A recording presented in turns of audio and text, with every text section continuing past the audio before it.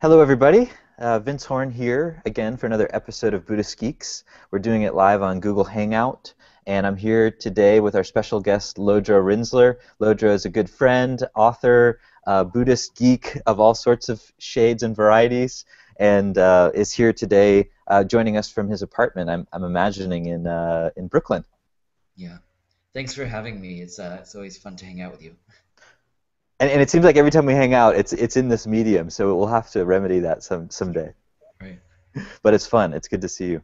Um, cool. So you know, I think most people that tune into the show have probably um, heard of your work and have probably uh, seen some of your writings.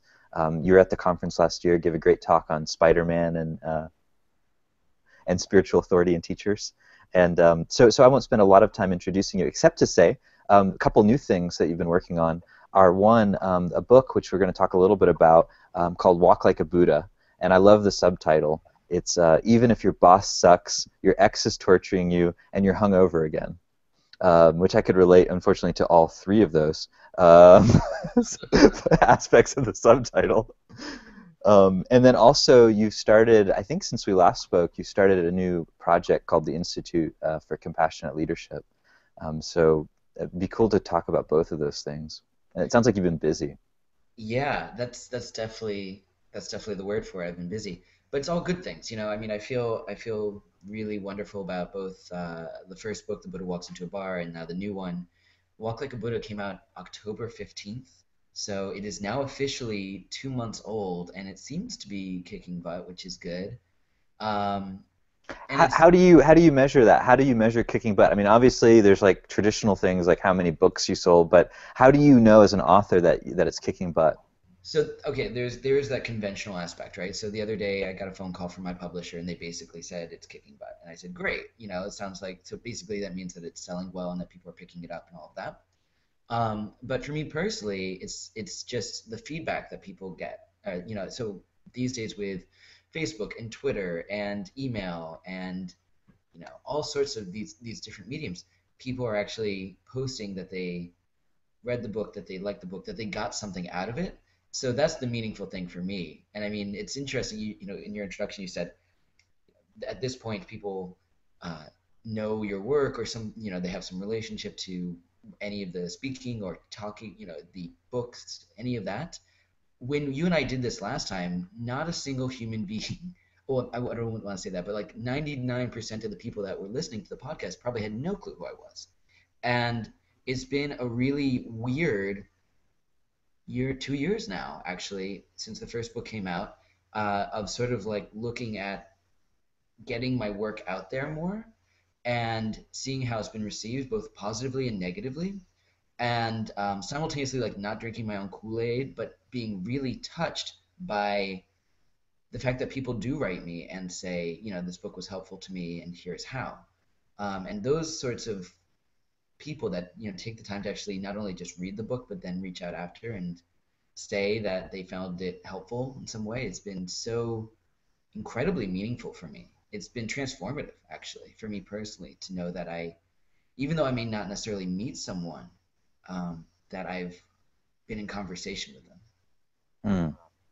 And with the institute, you know, I, I I saw that you started this for a really interesting and kind of uh, touching reason, and I was curious if you could share a little bit about how that came to be and um, what what sort of drove you to, uh, to to work on this project. Yeah, ladies and gentlemen, when you're friends with Vince Horn, he will ask you about your dead friend over coffee. um, cheers. Yeah, cheers. Uh, yes, so the Institute for Compassionate Leadership. I mean, one of the things that, going full circle, I mean, I was reflecting once again on uh, when you and I last did a podcast. It was right when the first book came out, and there was, you know, I went on this giant tour for it and there is a lot of allure to actually sort of get a puffed head of like, oh, the book's doing well, blah blah blah. And I think I bought into that for a little bit. I really do. And uh, and then there was this period of time where my life just crashed down around me, where um, you know my fiance broke off our engagement and moved to London. Um, I lost my full time job. You know, and then most significantly, uh, my one of my best friends died, and and then even after that, like all of my worldly belongings were washed away in Hurricane Sandy, and then my father died, and so it was sort of like a real like one-two punch from samsara, the cycle of suffering we seem to be in, and sort of humbled me in a different way. Uh, which is not to say I don't continue to have my own various forms of arrogance and selfishness and things like that, but um, at least you know I stopped buying into that like ego thing around the books.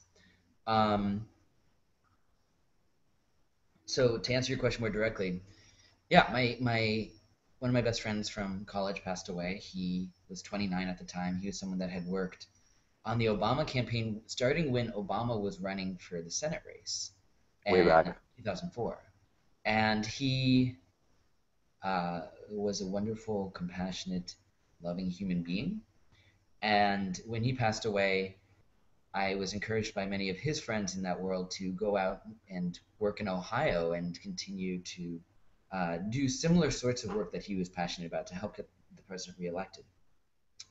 And um, flash forward to January 23rd, 2013. So all of 11 months ago. Uh, I'm at the staff ball, which is about some 7,000 people who had worked on the campaign, all in their formal wear, many of them young, younger than me, um, inspired. They had their first taste of creating social change in some sort of sense of meaningful change in the world. And um, most of them were not sure what they were going to do next. And it was this beautiful speech that you can find on YouTube where the president got up and thanked them for the work and said, I, I can't wait to see what you go on to do. And then at the same time, folded up his notes, put them in his pocket, and talked extemporaneously about my friend Alex that passed away and how he had actually created real change in his short life because he was driven, focused, kind, loving, and um, not surprisingly, like I, you know, stopped for 10 minutes straight. But when I picked myself up from that, this idea for the Institute for Compassionate Leadership felt fully formed in my head. Um, whereas, you know, how can we create more people like that? And in the like 30 second version of the Institute is it's a leadership training and job placement organization for young people who want to create social change and they're not exactly sure what they want to do. So we get them executive coaches who get them focused on oh, I guess I'm interested in gun control, or I'm interested in education reform, or I'm interested in poverty reduction. And once they figure that out, we get them a mentor in that field. And the training aspect revolves around meditation as tools for actually becoming more self aware and compassionate, community organizing in the Obama campaign style of actually trying to empower people through human to human interaction in an authentic way, and then traditional leadership skills like negotiation, fundraising, things like that, that are not often taught at universities these days and then at the end of this whole thing, once they've really figured out what they want to do, we help network on their behalf to get them meaningful work. Nice, nice. And I'm curious, um, are, are, you sort of bringing together various uh, people to kind of support each of those different aspects? I mean, obviously, I'm imagining you're, you're involved in the meditation parts, but do you bring sort of folks in who are kind of fundraising experts and, and job placement people? And how, what's your team like? Yeah, it's it is. It's a really, really wonderfully diverse group. And um, you know, I've always believed that if you want a diverse group of students in any setting, be it Buddhist, nonprofit, whatever, you need a diverse group of leaders, and we definitely have that. So um, we have wonderful people on our board. You know, Sharon Salzberg and Sakyong Mipham Rinpoche are both on the board from the spiritual side. We have Buffy Wicks, who is the uh, director of Operation Vote for the Obama campaign, sort of representing some of the organizational side. We have people who uh, were director of operations for Google Search Inside Yourself. We've got uh, people who are running, you know, slow, uh, sorry, innovation and business school out in San Antonio. Uh, it's a really interesting and wonderful mix. And then on the faculty side, it is, you know, we always pair someone from the organizing world with someone from the meditation world, and ideally they have some traditional leadership skills that they also offer because they have business skills of their own. Um, but you know, if not, we bring in those people as well. So it's we try and balance those three things pretty equally. Nice. And what kind of response are you getting from um, from young people? Are, are you seeing a lot of people interested in this sort of thing?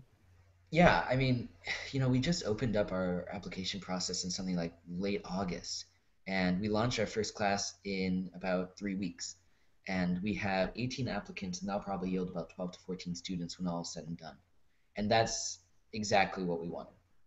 Exactly. And I think, you know, we run a new class starting in July so we're going to do January, July classes, and they run for six months at a time.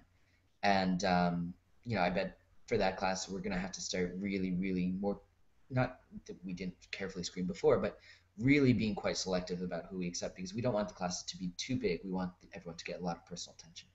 Nice, nice. Okay, cool. So this is interesting. I, I love these kind of innovations where, um, you know, we're taking some of the things, you know, that that that we've learned, you know, from from the meditation Buddhist world, and kind of figuring out how to apply them in areas that really they haven't been applied to um, before in in quite this way. Yeah, I mean, I think with the first book, The Buddha Walks into a Bar, when that came out, I realized that one of my intentions behind it was hoping that some young person might read it and they might start meditating regularly. And maybe they go work for Goldman Sachs or something, but they're young, they're smart, they're intelligent, you know, they're like really energetic, and they start to rise in the ranks. And 30 years from now, maybe they're the CFO of Goldman Sachs. But because they've been meditating, they're actually more empathetic than they might be than any other sort of CFO and maybe they wield that tremendous power with some sense of compassion. So I, wasn't necessarily saying, oh, let's you know change everyone's lifestyle. It was, if could we get more people meditating at an earlier age, so that as they continue to develop as human beings, that's a part of who they are. And uh, with the institute, it was sort of the next logical step. You know, I fully believe that if they didn't get anything out of the organizing side and they didn't learn a lick of traditional leadership skills, if they did meditate for six months with us, that would already be transformative. They would already walk out more self aware, more compassionate leaders. So, can we get young people who are entering the workforce or a couple years into the workforce starting to do that work now um, so that we can generate a large network of people who are making meditation a big part of who they are? Mm. And it's interesting, you know, there's, and I, this goes back, I guess, in the, even in the Buddhist history, there's um, kind of, you know, the, the quote unquote Hinayana motivations for practice um, you know, kind of self self awakening, uh, freedom from kind of your own self delusion and suffering, um, and then there's this kind of gradual historical move out, you know, of, of, taking that sort of understanding and not sort of limiting it to oneself. Um, I I like what you're saying because it seems like a natural extension of that kind of movement um, where it sounds like what you're describing is an intentional effort to create widespread change. What, you know, whether or not someone agrees with your methods or whatever, or your philosophy or any of that, still there's something that you're doing there where it sounds like you're trying to have a, a sort of large impact, and and that's that's quite interesting. Yeah, and it's you know I'm I'm I actually was thinking so Jerry Colonna was someone that spoke at the Buddhist Geeks conference this last year, and I was thinking about his speech the other day and this beautiful notion they introduced that sometimes the, a good leader is someone who's willing to say, I don't know how this is going to work out. And I'm fully willing to say um, that I am not sure how this will work out. I, I do believe in the transformative aspects of these various things that we've put under one umbrella.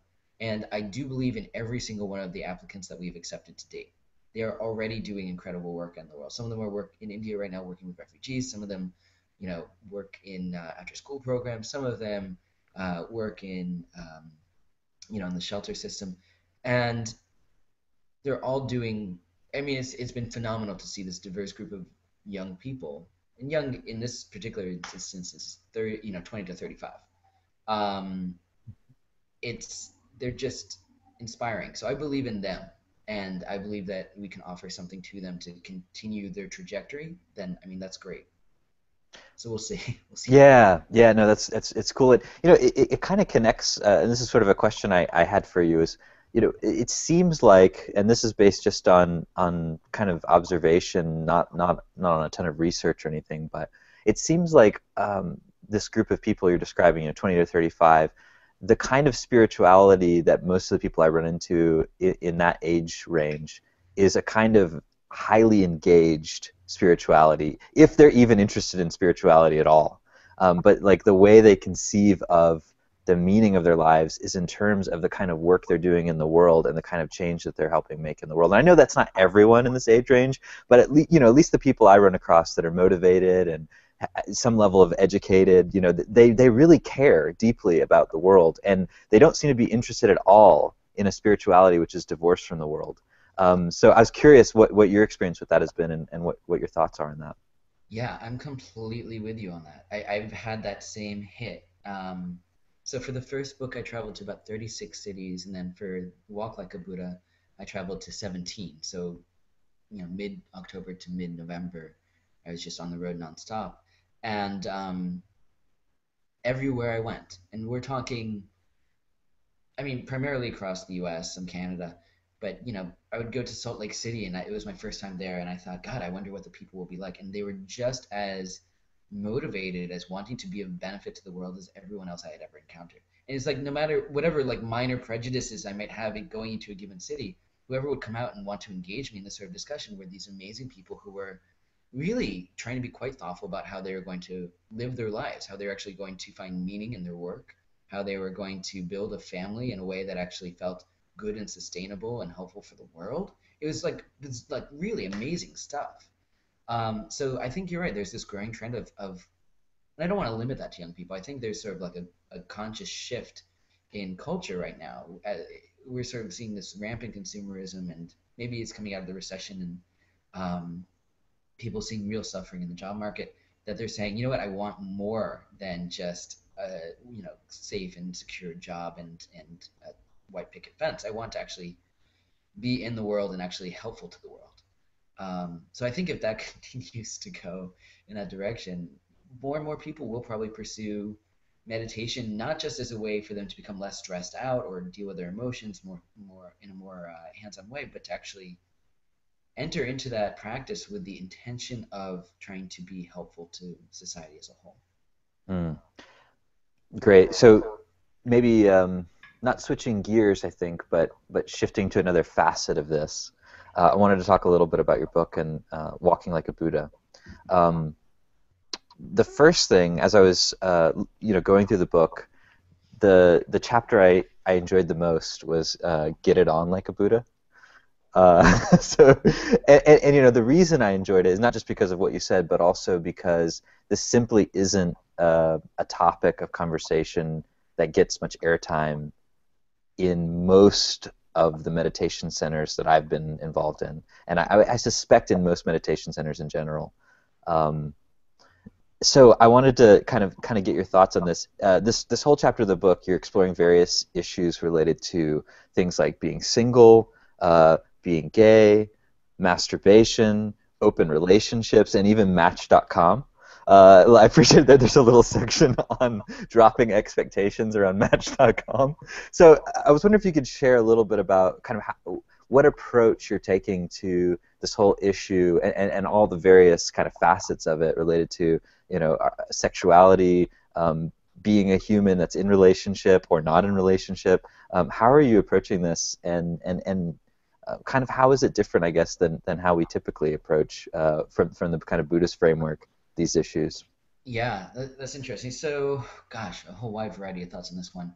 You know, I opened this particular section. Let me just give a little bit of background for, for people who have no sense of um, what Walk Like a Buddha is, which is probably most everyone. Um, Walk Like a Buddha is 50 questions that people emailed to me or, you know, sent me on Facebook or asked me at an event that I compiled and just sat down and wrote. And it was actually written in the period of six weeks. I just sat down December 2012 into January 2013 and just sort of cranked it out um, because I was really inspired. In coming off of the first book tour, I started hearing the same sort of questions over and over again. You know, to, like clockwork to this day.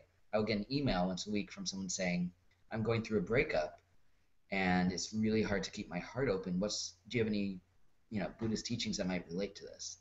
And so some of these I get all the time. Some of them I get once, but I'm inspired by, and I sat down and wrote them all up. So there's 10 questions on how to get a meditation practice going, 10 questions on um, work, 10 questions on going out, which is sort of this giant umbrella term of everything from how do we look at Facebook to how do we look at the Buddhist view around tattoos. Um, 10 questions on social action, so somewhat akin to what we were just talking about. How do we actually create change in the world? And 10 questions on romantic entanglements, which is such a tricky area.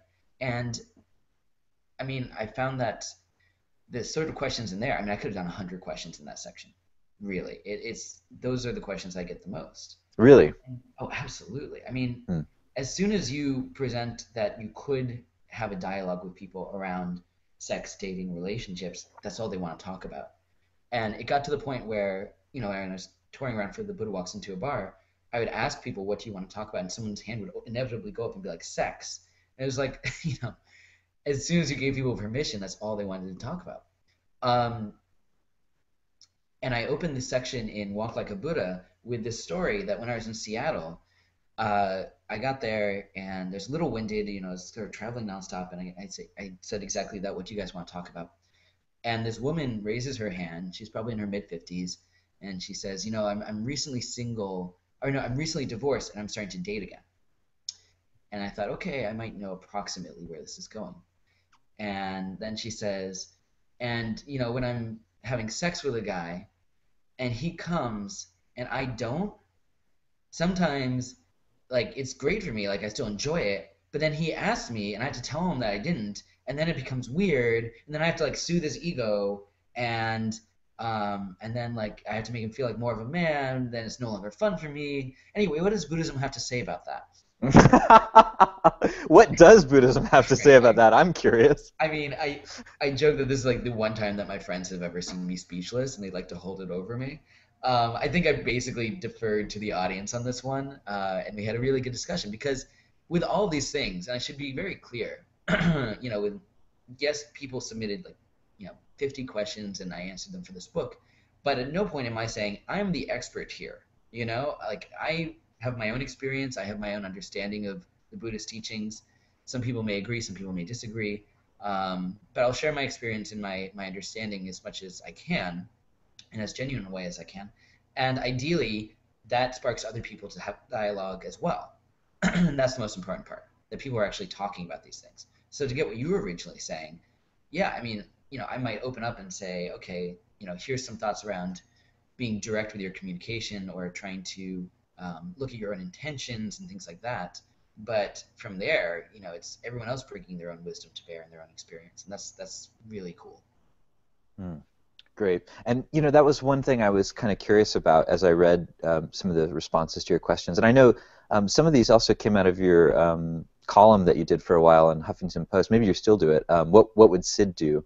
Uh, kind of a play on the the WWJD theme that that happened. Uh, I get I don't really see it as much anymore, but it was kind of like a meme for quite a while.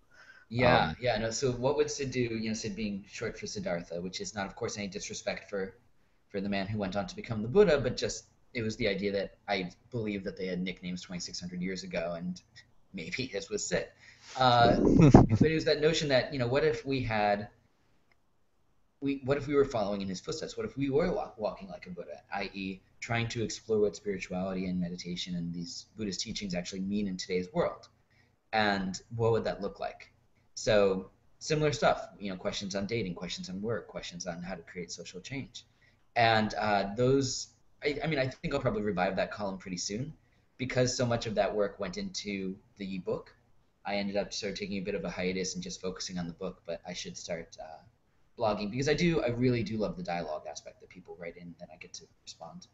Yeah, and you know, some someone was uh, sharing. I think it was Ken McLeod recently that, um, you know, if you kind of look through some of the early Buddhist texts, uh, the primary mode in which the Buddha was teaching, which Sid was teaching, was through question and answer, through dialogue. It's like ninety percent, um, if not more, of of the content is in that format. So that's kind of fascinating. It is. It is absolutely fascinating. So, I mean, it's been uh, currently, you know, I'm I'm actually taking something of a of a hiatus. I was telling you before we went on air that you know just sort of coming off the book tour and then this is actually the first time I've had a real gap where I haven't had another book expected. So the next book actually comes out in September 2014, and it's The Buddha Walks into the Office. So very specifically focusing on some of the stuff we were just talking about with the institute in terms of work and uh, finding meaningful careers and things like that. Yeah. Um, so I'm I'm sort of in this interesting break where I uh, I'm not traveling as much as I normally am, which is lovely, and I'm not writing, so I actually get to study a lot more than I normally do, and it's been really wonderful to do that.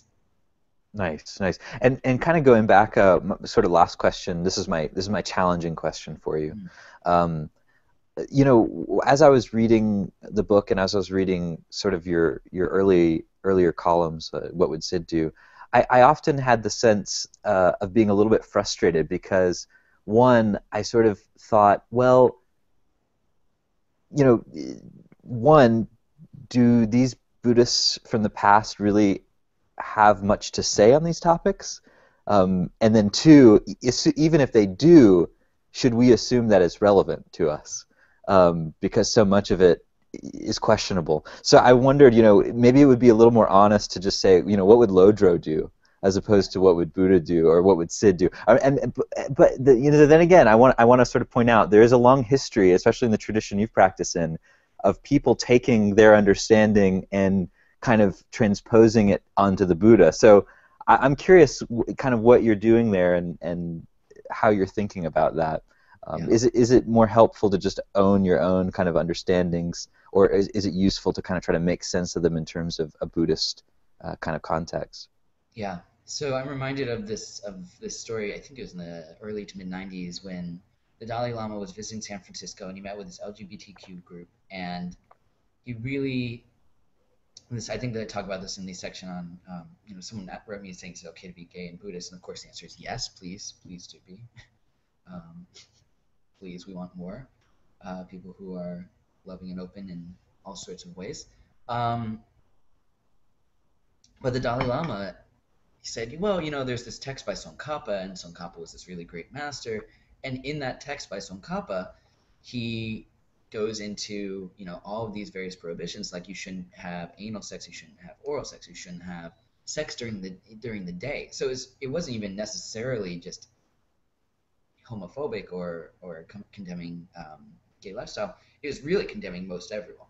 Um, and there was a lot of controversy at that time and the dalai lama turned around and said well really what what i mean here is if we're going to look at these ancient texts the only way that we'll sort of break from that those traditions is by a communal dialogue because people were basically saying hey aren't you sort of like the pope of buddhism? Can't you just like throw that out the window and adopt something a little bit more modern for our society today? And he said no that's not my role. My role is to continue to have a dialogue with people. And the way these things will shift is in a global conversation and i thought that was actually quite brilliant so i mean with all due respect to anyone who who enjoys my books or anything like that, like I I struggle even with the with the idea that people might look to me as a teacher in some form, even though I obviously do like you know I did life retreats with the Buddhist geeks and I, I do teach in the Shambhala centers and things like that. Um, like I don't think of myself as some sort of expert, and I think of myself who someone who practices a lot and thinks a lot about this stuff and loves to talk to people about it. And uh, so, what would Lodro do? I mean, I don't think that's. I, I think that's saying that I have an answer that is the answer, and that's not true. I don't believe that. Um, I believe I have. I think about this and I like to talk about it, and I put it out into the world, and people either agree or they don't, and that's okay because it's more important that they think through for themselves. So, I mean, maybe instead of what would Sid do or what would Lodro do, it's like, what would you do? you know, what what are you going to do? That's the important thing. Like, what is what is personal to you when it comes to dealing with prescription drugs, when it goes to drinking on a Friday night. It doesn't matter what my experience is. I can share it if it's helpful, but it's more important that you have your own understanding and looking at your own intentions around why, you, why you're doing what you're doing. Because I'm no saint, you know, I, that's not me. Um, but having a global conversation around things like, you know, Tsongkhapa's text or, or Gampopa or whatever it might be, and how do we interpret that in today's world? That's interesting. That's interesting to me at least. It is interesting, and it, it I mean, it kind of brings up the possibility that in that conversation we're going to find a lot of stuff, you know, from the ancient texts which um, we simply don't find useful uh, or relevant. And then I think that brings up this constant, ever-present tension of you know the conservers and the adapters you know the innovators and the and the people that want to make sure that we don't lose something really important by by kind of having a global conversation and all deciding we don't understand it, and then we throw out something really vital importance. Um, and, and, that's really interesting because a conversation allows for that tension to exist, um, as opposed to saying like we have to kind of resolve it. Yeah, that's exactly it. Cool. Well, thank you for uh, for being in this conversation with with me, and um, I want to um, kind of in the spirit of what we're exploring uh, of questions and bringing people into the conversation, I wanted to open it up to the folks that are live uh, here. We have a little bit of time, um, probably can take a few questions. Um, so if you have um, the uh, Q&A app open, um, on the live stream, feel free to jot down your questions. Um, the other cool thing about the system we're using is you can vote up other people's questions. So this is kind of like uh, harnessing the wisdom of the crowd. Um, or, the delusion of the crowd, I guess, depending on where the where, where we're coming from as the crowd. Um, but yeah, let's start with a couple questions here. Um, uh, two from Sean, and Sean, I'm going to start with uh, with your first one. Um, so Sean Fargo, uh, he said, Th "Thanks for your authenticity, Lodro. Um, I was wondering how you prepare yourself to write. Um, what kinds of inquiry or meditation do you practice before you sit down uh, at the keyboard? That's interesting. Yeah, uh, that's a good question. So, um, you know, it's interesting. I, I'm not the sort of person that I, I was actually like in a Barnes and Noble a couple months ago, and there's some fiction writer whose name I've already forgotten, and uh, he was being interviewed, and I was sort of like browsing while I was overhearing their talk, and he said, "Well, you know, of course." Every, you know, I, I still write every day because every author should be writing every day. And I was like, oh, really? Is that what we're supposed to be doing?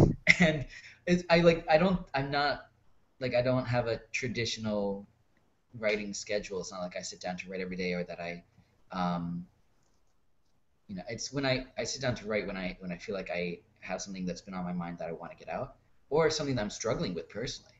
Uh, there are definitely times when I'll sit down to write a blog post and it's like, this is part of how I sort of figure out what I'm really thinking is by writing it out, re- reviewing it, you know, going back to the drawing board. But you know, I, I my own personal practice is pretty consistent these days, which is good, um, and it's it's extremely important to me so that I have some grounding in, in the practice itself. So in a given day, whether I'm writing or not, at least I'm I'm going deep with my practice. And then if I'm going to sit down to write a book, I you know I can pan over to my my bookshelf behind me, but you know I just reach up and grab every Buddhist book that I think might be mildly relevant and reread it. You know, I'll read 20, 25 books before I sit down to write my own. And just, even if I've read them a dozen times before, there's always new things in them that seems fresh and relevant to me.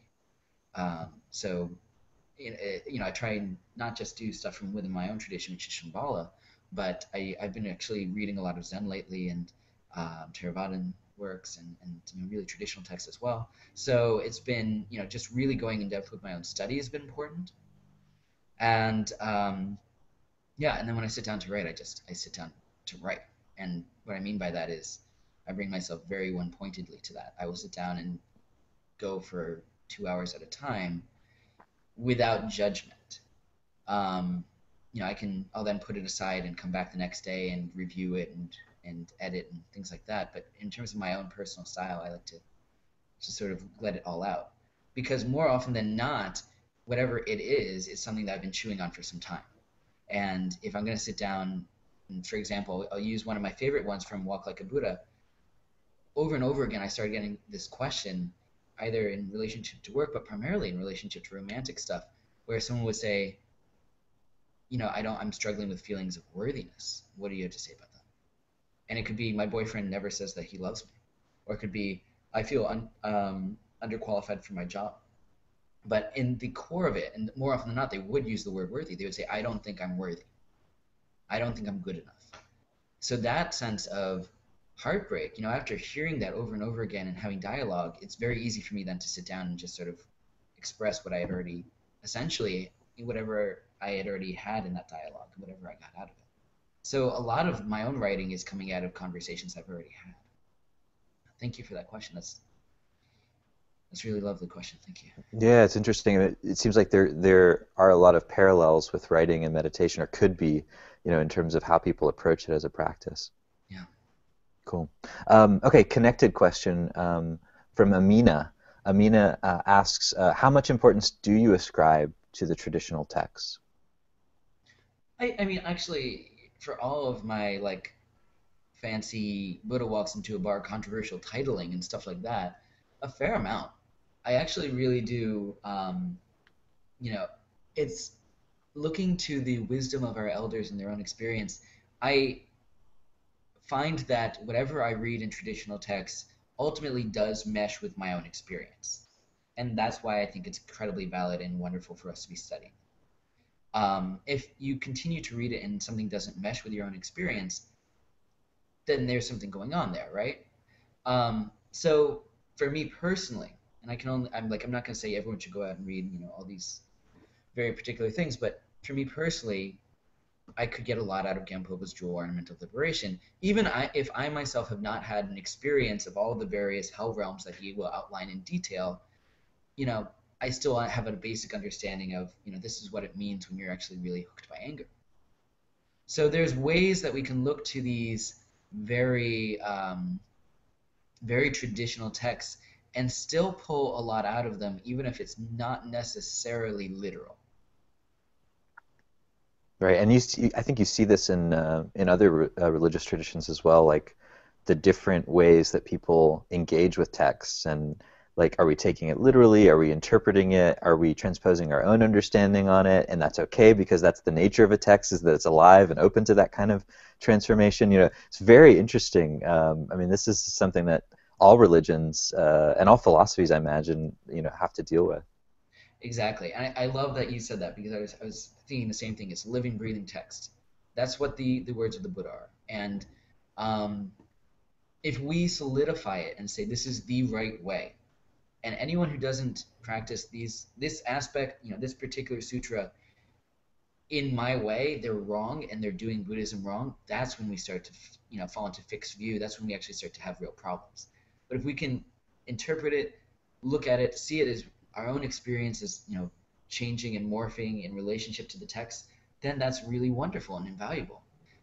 It's so we have to look at, you know, when we actually get stuck with that as well. Okay, great.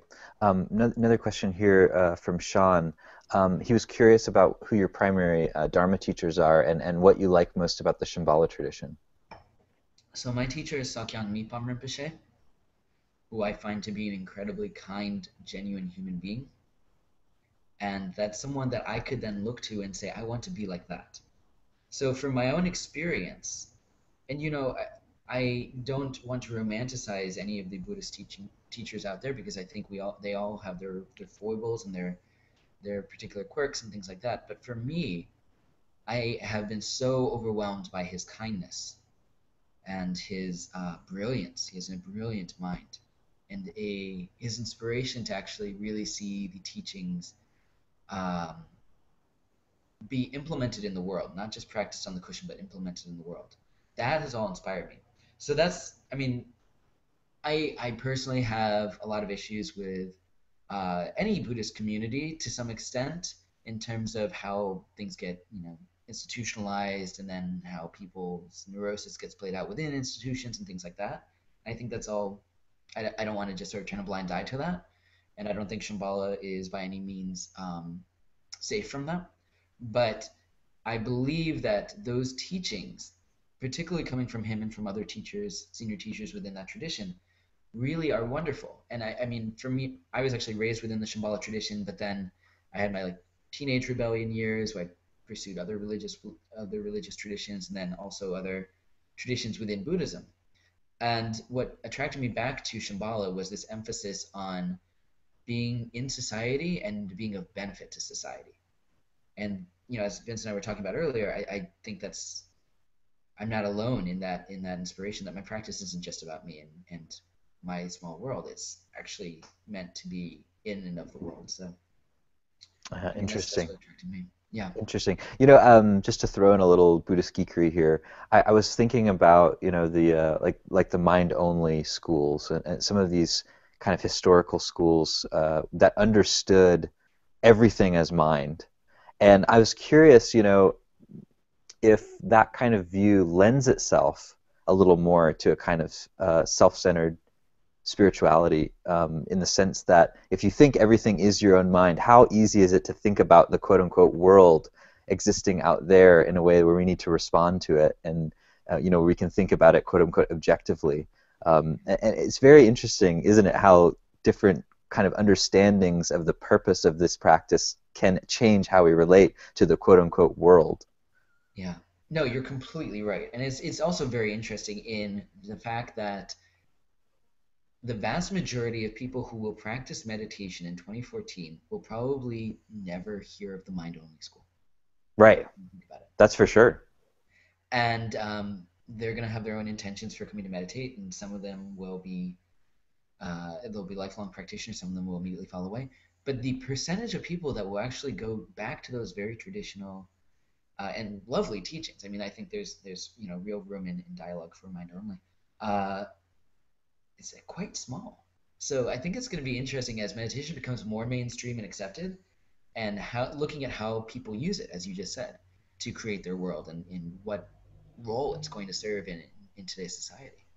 Yeah, and it's it's interesting too because even though you know these philosophies in some sense are are uh, they're they're ancient, you know, in the sense that they're thousands of years old, um, they still are playing themselves out, you know, in terms of uh, like if you go do a mindfulness-based stress reduction class, there are bound to be these sort of philosophical assumptions and, and, and views that that they're, they're maybe not named and they're not sort of saying, oh yeah, this comes from Gampopa's Jewel Ornament of Liberation, chapter seven, but they're still there and they still affect how people view um, what they're doing. Isn't that isn't that fascinating that they're they're still alive in that sense? It's true. Yeah, I I, I do think it's completely fascinating. Yes. Of course, you're uh, speaking to the speaking to the gospel here. Okay, uh, last question. Um, uh, this is from Dwayne uh, Miller. Uh, Dwayne, um, he's curious what your sort of most influential books uh, have been, um, both as a writer and also as a practitioner. Hmm. I'm turning to look at my bookshelf right now. Yeah, nice. Um, you know, I mean, the most influential recently for me has actually been my teacher Sakyong Mipham Rinpoche's book, The Shambhala Principle, because it's not even a real Dharma book. I mean, it is a real Dharma book. Don't get me wrong; it's chock full of Dharma teachings, but it's not this traditional way that we look at it because there's such an emphasis. I mean, he, there's a chapter on economy, a chapter on healthcare. Mm. So it's, it's literally it's taking society and then applying teachings to it, as opposed to here's a book on Buddhist teachings and how it might apply to society. It's almost an inverse of a traditional Dharma book in that way. So I, I think that's really remarkable that he did that. Um, and I, I definitely appreciated a lot of his other books. I mean, it's it'd be hard you'd be hard pressed to find someone who hasn't been inspired by Pema Chodron's work um, in today's world. And uh, in particular her book comfortable with uncertainty. And her new book taking the leap is actually really really lovely. I, I was deeply inspired by that one. Um, the teachings of Seung Sahn, uh, who's a korean zen master. Very straightforward almost brutal compassion from this brilliant mind and i w- i've always been really really touched by his particular emphasis on compassion um, so those are those are some good ones for sure. Uh, goodness, you know I've um, in terms of other books that might uh, you know have influenced me, I would definitely say Work, Sex, Money, which was early writings by Chogyam Trungpa Rinpoche. Mm. Um, and you know, for whatever it's worth, like completely unrelated to to Dharmic books, I, I read a lot of like men's or gentlemen's guides, being like you know John Bridges, um, how to be a gentleman, and it's very interesting um, where it's not Dharma teachings, but it's how do you actually show up in the world in an authentic way that is in tune with what's going on and respond skillfully. Like there's there's a certain genre of you know like manners guides and things like that that are not about doing things right, but about being in the world in an authentic way, which I think is really interesting because it's not rooted in a spiritual tradition. So I've actually dove into a lot of his work too. Interesting. It brings up the question: you know, what what is Dharma, and what what do we mean when we say Dharma? Is it is it sort of Buddha Dharma, or is it you know, gentleman's Dharma, or you know, uh, science Dharma? Like what, what what kind of different dharmas are out there? And of course, I can't I can't emphasize enough uh, as you pointed out earlier, Vince, the the role of like Spider-Man and other X-Men comics and things like that. Captain America, I saw he, he made a he made yeah, a debut made, in the book. I, I was writing this this book that comes out next year, uh, The Buddha Walks into the Office, and I was writing um, a chapter of it across the desk from from my friend who works at my publisher, and I looked up and I said, how many comic book references is too much for a book? walks into a bar hat. I, I, said, I think I think three or four inches is is probably too many. I said, and unfortunately, like for them, I just kept sneaking them in. So yeah, it's you know, in terms of like pleasure reading, that's definitely made uh, Great. So some good some good book recommendations and then some good comic book recommendations. I love it. I love it. Awesome. Well, Lodro, thanks again for uh, for taking the time to chat with us and uh, yeah, talk about the work you're doing. It's it's cool to catch up. Cool. Yeah, and I mean, if people are interested, uh, as I said before, you know, I'm always interested in dialogue. So people can find me on Facebook by typing in my name, Twitter at Lodro Rinzler. you know, I'm always happy to email with people, and of course, the Institute for Compassionate Leadership is Institute for Leadership.org. Um, and we're always looking for people who want to be involved in that in any way mentor, coach, job placement partner, student, whatever. Great, great. Awesome, Lodro. Well, we'll see you online and, uh, and, and good again to chat with you. Thanks yeah, so much for your time. Thanks so much. All right.